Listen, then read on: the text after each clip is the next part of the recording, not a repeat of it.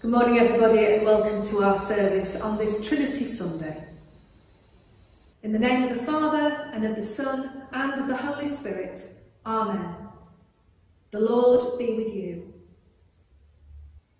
We say together, Almighty God, to whom all hearts are open, all desires known, and from whom no secrets are hidden, cleanse the thoughts of our hearts by the inspiration of your Holy Spirit, that we may perfectly love you and worthily magnify your holy name, through Christ our Lord.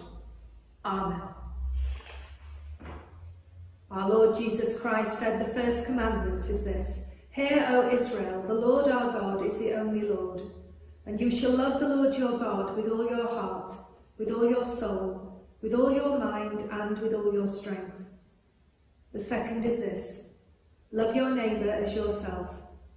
There is no other commandment greater than these, and on these two commandments hang all the law and the prophets.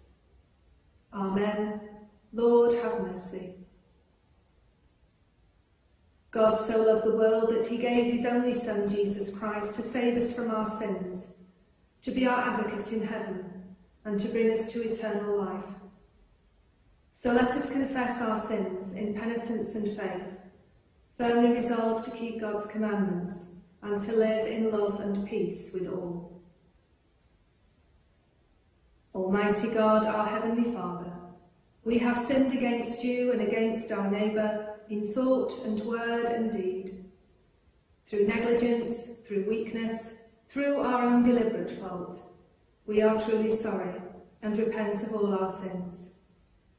For the sake of your Son, Jesus Christ, who died for us, forgive us all that is past, and grant that we may serve you in newness of life, to the glory of your name. Amen. Almighty God, who forgives all who truly repent, have mercy upon you. Pardon and deliver you from all your sins. Confirm and strengthen you in all goodness, and keep you in life eternal through Jesus Christ our Lord. Amen.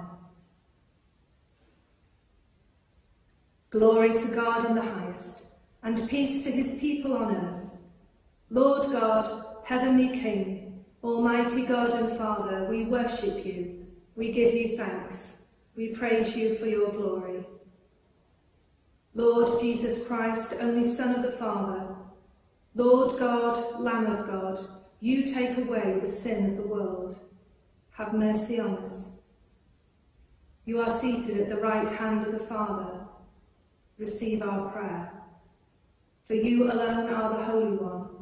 You alone are the Lord. You alone are the Most High, Jesus Christ, with the Holy Spirit, in the glory of God the Father. Amen.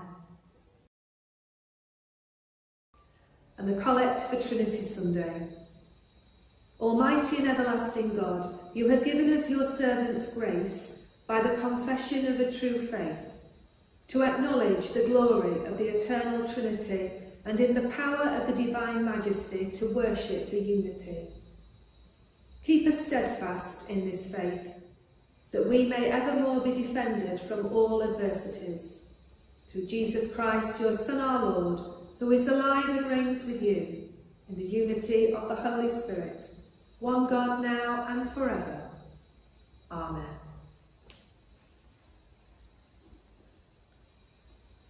The Old Testament reading is taken from Isaiah chapter 40, beginning at verse 12. Who has measured the waters in the hollow of his hand, and marked off the heavens with a span, enclosed the dust of the earth in a measure, and weighed the mountains in scales, and the hills in a balance. Who has directed the Spirit of the Lord, or as his counsellor has instructed him? Whom did he consult for his enlightenment, and who taught him the path of justice? Who taught him knowledge and showed him the way of understanding? Even the nations are like a drop from a bucket, and are accounted as dust on the scales. See, he takes up the isles like fine dust. Lebanon would not provide fuel enough, nor are its animals enough for a burnt offering. All the nations are as nothing before him. They are accounted by him as less than nothing and emptiness. Why do you say, O Jacob, and speak, O Israel, my way is hidden from the Lord, and my right is disregarded by my God? Have you not known? Have you not heard? The Lord is the everlasting God, the creator of the ends of the earth. He does not faint or grow weary. His understanding is unsearchable. He gives power to the faint and strengthens the powerless. Even youths will faint and be weary, and the young will fall exhausted. But those who wait for the Lord shall renew their strength. They shall mount up with wings like eagles. They shall run and not be weary. They shall walk and not faint. This is the word of the Lord. Thanks be to God.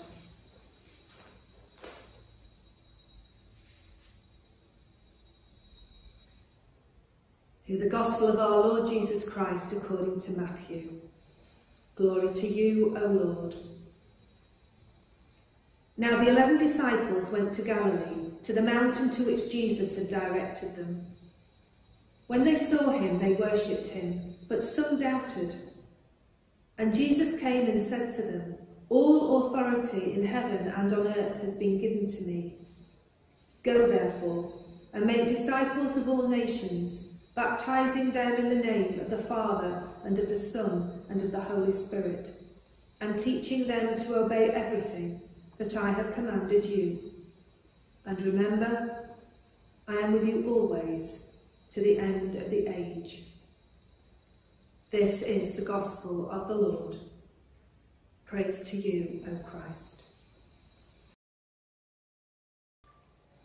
May I speak in the name of the living God, Father, Son and Holy Spirit. Amen.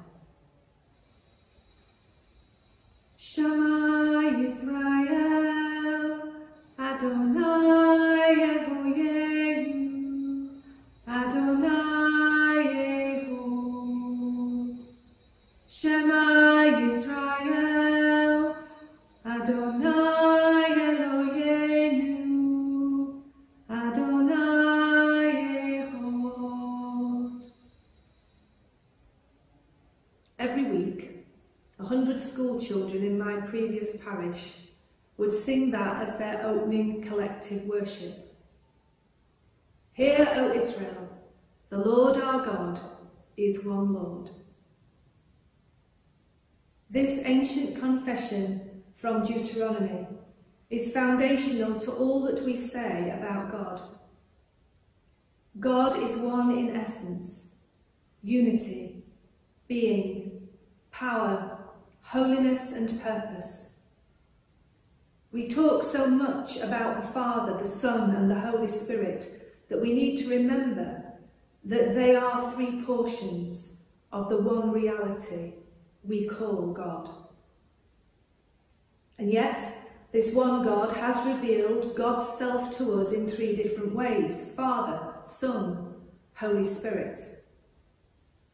The Western Church has called each of these ways persons, which I think is not helpful because it's not to differentiate them as individual gods, but to identify them as the three different ways God has revealed God's self to us, as well as the three different ways the three are related to one another within the unity of God's being.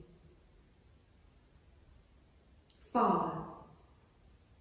The Father is the Father, not because God is male, I hasten to add, God is beyond all gender, nor because the first person of the Godhead is like a father.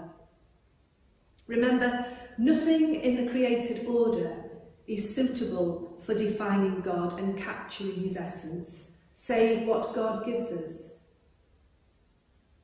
We call the first person Father because this is the Father of the Son, and he is also the source of the Spirit.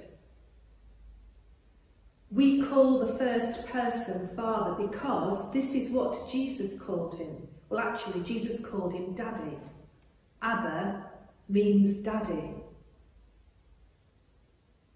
Our Father is the source of all that is.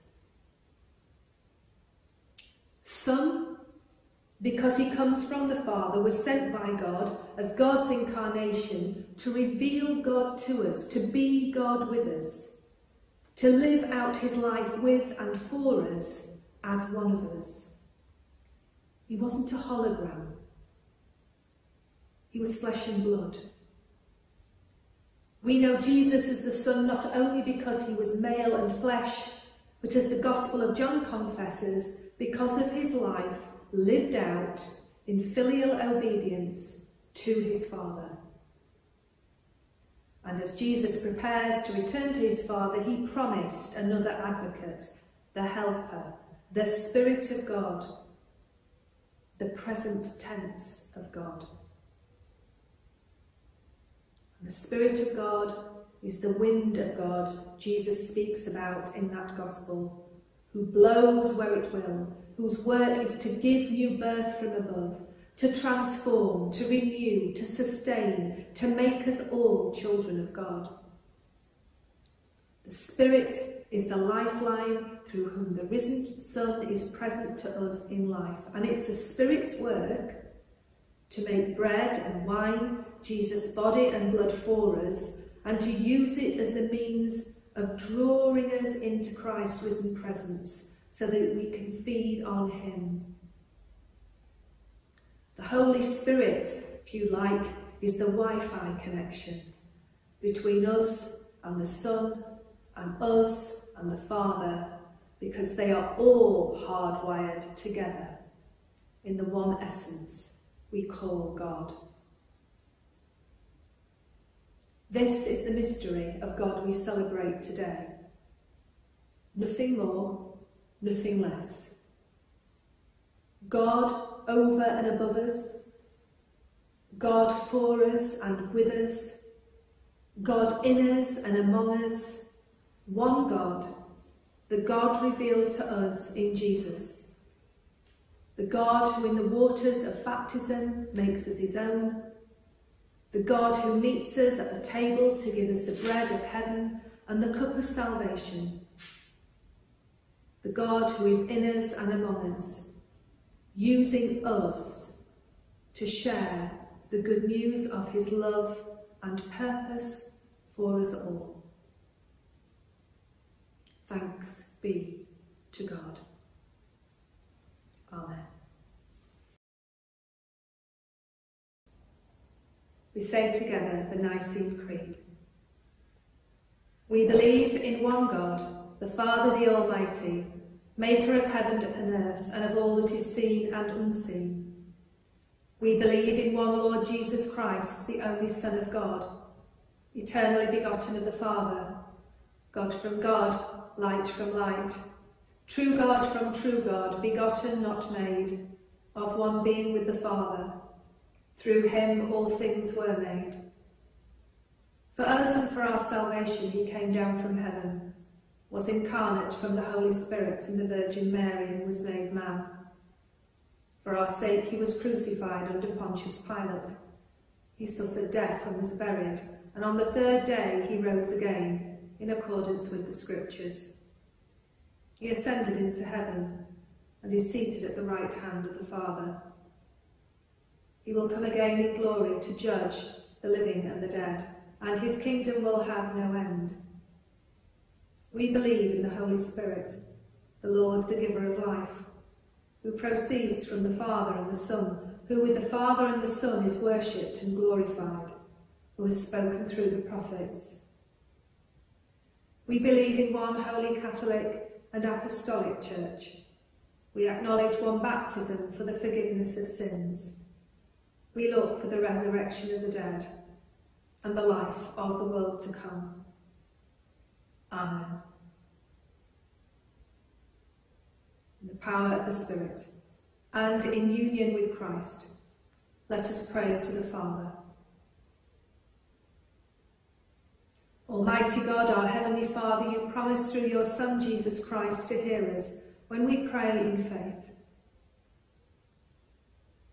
Strengthen Pete and Sophie, our bishops, and all your church in the service of Christ. That those who confess your name may be united in your truth, live together in your love, and reveal your glory in the world. Lord, in your mercy, hear our prayer. We pray for our world. Help us to be good stewards of your creation. We pray for our country and for Elizabeth, our Queen, our Prime Minister and government, Give wisdom to all those who have authority, and direct this and every nation in the ways of justice and of peace, that we may honour one another and seek the common good. Lord, in your mercy, hear our prayer. We pray for our community, our neighbours, our families and our friends. And we call to mind all those who are suffering in body, mind or spirit, those separated from their families. Give all who struggle at this time courage and hope, and bring them the joy of your salvation. Lord, in your mercy, hear our prayer. Hear us as we remember those who have died in the faith of Christ. For those who will die today and those who will die alone. According to your promises, grant us with them a share in your eternal kingdom. Rejoicing in the fellowship of all your saints, we commend ourselves and the whole of creation to your unfailing love Merciful Father, accept these prayers for the sake of your Son, our Saviour, Jesus Christ. Amen.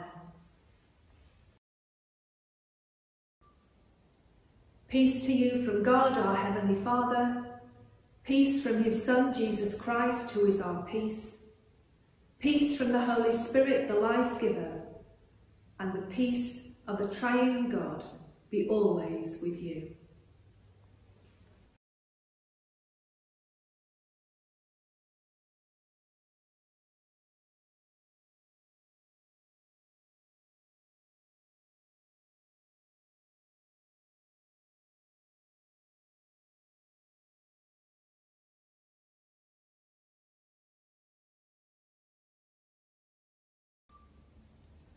The Lord is here. His Spirit is with us. Lift up your hearts. We lift them to the Lord. Let us give thanks to the Lord our God. It is right to give thanks and praise. Threefold and glorious God, in fatherly joy you created all things, through the grace of your word and the wisdom of your spirit. In the depth of your love for the world, you gave your only Son, that all might come to new life in your spirit. You rolled away the stone by your fatherly hand, and in the power of your spirit raised your incarnate Son from the dead. In your fatherly mercy you breathed your spirit on the fearful disciples, giving them the fire of your love to live as the body of your Son. And so, adoring you, with apostles and prophets, with martyrs and saints, with angels and archangels, with cherubim and seraphim, and with all your glorious company in bright array, we celebrate the glory of your praise. Holy, holy, holy Lord, God of power and might, heaven and earth are full of your glory. Hosanna in the highest. Blessed is he who comes in the name of the Lord. Hosanna in the highest. Lord God, there is none beside you. You are perfect in power, in love and purity. You invite us to join you at your heavenly banquet that knows no end. In this meal, we recall the sacrifice of your Son and the sanctification of your Spirit. Send that Spirit upon us now, that we may be made ready to be your companions, and on these gifts of bread and wine, that they may be for us the body and blood of your Son Jesus Christ our Lord, who at supper with his disciples took bread and gave you thanks, broke the bread and gave it to them, saying, Take, eat, this is my body which is given for you. Do this in remembrance of me. After supper he took the cup and again he gave you thanks and gave it to his disciples, saying, Drink this, all of you. This is the blood of the new covenant which is shed for you and for many for the forgiveness of sins.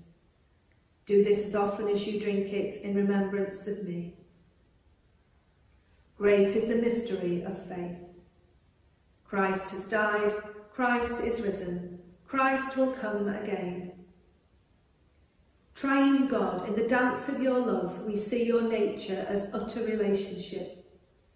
Be close to all who struggle in relationship at home, in the workplace, across social divides and national thresholds. As your three persons gaze in shared attention, look upon those whose lives go unrecognised. As they work together in true partnership, uphold any who face the struggles of their life alone. As they relish one another in deep delight, revitalise those who live without joy or hope. Make your church a community across time and space that enjoys the gift of your life and imitates the wonder of your love, until all come into your presence and gaze upon your glory, God in three persons, Blessed Trinity. Amen.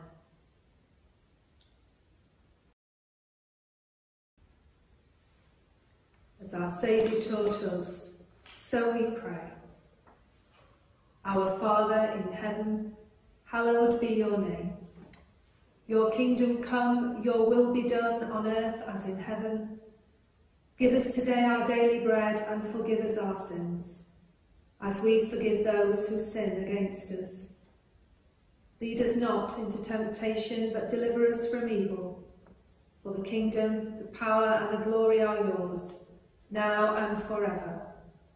Amen. We break this bread to share in the body of Christ. Though we are many, we are one body, because we all share in one bread. Jesus, Lamb of God, have mercy upon us. Jesus, bearer of our sins, have mercy upon us.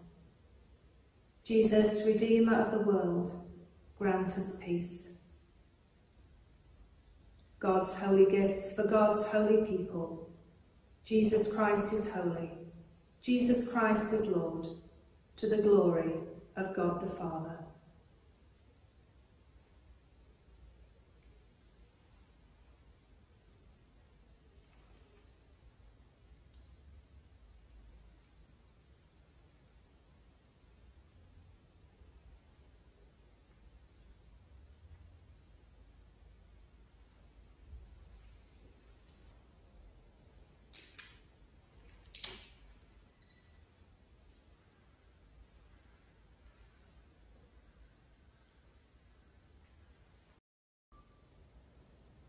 Almighty and eternal God, you have revealed yourself as Father, Son and Holy Spirit, and live and reign in the perfect unity of love. Hold us firm in this faith, that we may know you in all your ways and evermore rejoice in your eternal glory, who are three persons, yet one God, now and forever. Amen. Almighty God, we thank you for feeding us with the body and blood of your Son, Jesus Christ. Through him we offer you our souls and bodies to be a living sacrifice. Send us out in the power of your Spirit, to live and work to your praise and glory. Amen. God, the Holy Trinity, make you strong in faith and love, defend you on every side, and guide you in truth and peace and the blessing of God Almighty, the Father, the Son, and the Holy Spirit be among you and remain with you always. Amen.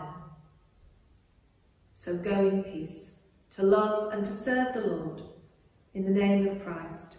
Amen.